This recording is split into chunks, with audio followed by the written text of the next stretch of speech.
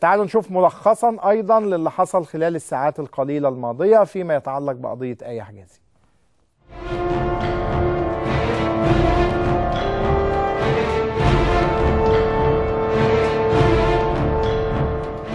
الناشطة آية حجازي تلك الفتاة التي تم إلقاء القبض عليها في مايو عام 2014 ضمن قائمة المحبوسين على ذمة المحاكمة لنحو ثلاث سنوات بتهمة تكوين عصابة منظمة لاستقطاب أطفال الشوارع والهاربين من سوء معاملة ذويهم. نالت قضية حجازي اهتماما واسعا من الجانب الأمريكي على اعتبار أن المتهمة تحمل الجنسية الأمريكية. فلقد طالبت الإدارة الأمريكية السابقة السلطات المصرية بالإفراج عن آية حجازي. وصدر بيان عن البيت الأبيض في سبتمبر عام 2016 طلب بإسقاط جميع التهم المنسوبة إليها وإطلاق سراحها. لكن وزارة الخارجية المصرية استنكرت حينها إصرار بعض الدوائر الرسمية الأمريكية على الاستهانة بمبدأ سيادة القانون والتعامل معه بانتقائية. وفي يوم الأحد الماضي قضت المحكمة ببراءة ثمانية متهمين من بينهم آية حجازي في قضية جمعية بلادي من تهم الإتجار في البشر واختطاف أطفال وهتك أعراضهم واستغلالهم جنسيا وإجبارهم على الاشتراك في تظاهرات ذات طابع سياسي.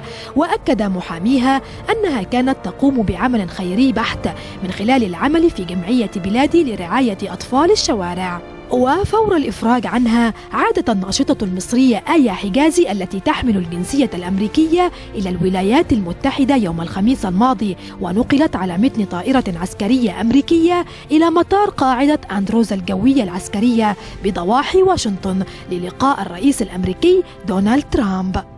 ترافقها دينا باول مساعدة وزير الخارجية الأمريكي لشؤون التعليم والثقافة ونائبة وكيل وزارة الخارجية للشؤون الدبلوماسية العامة واستقبل دونالد ترامب آية حجازي في مكتبه بالبيت الأبيض قائلا في مستهل لقائه أود أن أرحب بآية حجازي في وطنها موضحا في تغريدة كتبها على تويتر عن سعادته بعودتها. ومن جهة أخرى أعرب مغردون عن سعادتهم ببراءة حجازي فيما استنكر الآخرون سرعة مقابلتها للرئيس الأمريكي فور وصولها.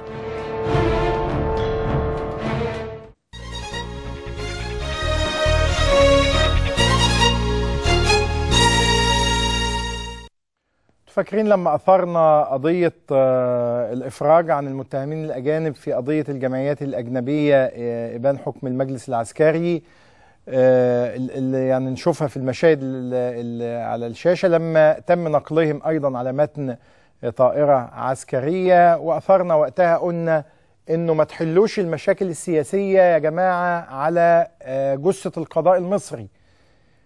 آه، وقتها يعني ثارت ضجة لأنه المجلس العسكري قال إن في أزمة كبيرة جدا بين مصر والولايات المتحدة الأمريكية والبلد يعني ما تتحملش وكان لابد من حل القضية بهذا السيناريو. مفيش مشكلة حل أي قضية. بس آه، بلاش القضاء المصري بلاش نعطي الفرصة لأي حد إنه يغمز ويهمز حول القضاء المصري. وبالتالي هنا آه، آه، أثق في إن القيادة السياسية المصرية هيكون لها تعليق على محاولة الولايات المتحدة الأمريكية إخراج الأمر بهذه الصورة.